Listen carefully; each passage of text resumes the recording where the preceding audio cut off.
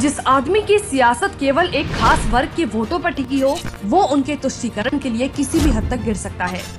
और गिरने की हद अखिलेश ने तब पार करी, जब देश की अखंडता पर लगे धारा 370 जैसे दाग को साफ़ किया गया।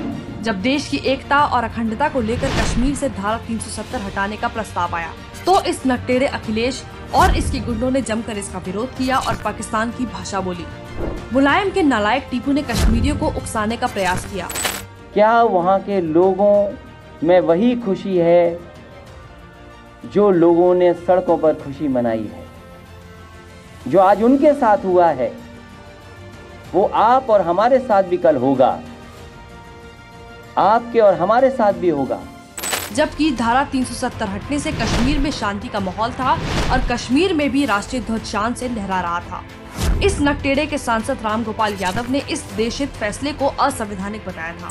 ये बहुत ही गलत हुआ। है संवैधानिक प्रक्रिया को नहीं अपनाया गया, विपक्ष की आवाज़ को बुलडोज किया गया और इस तरह से अगर कोई लोग समझते हैं कि जनता को पुलिस के बल पर दबा लेंगे तो इतिहास इस बात का गवाह है कि कहीं भी जनता को पुलिस के बल पर दबाया नहीं गया।